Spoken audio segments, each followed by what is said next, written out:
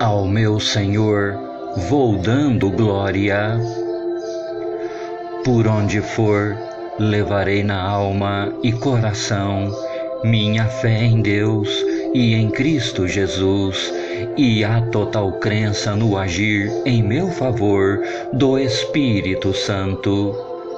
Acredito que estas três pessoas divinas preparam-me com amor, bendita e sublime salvação, e derramam sobre mim bênçãos e luz, além de me protegerem e livrarem das astúcias do mal, com um aconchegante, poderoso e sagrado manto.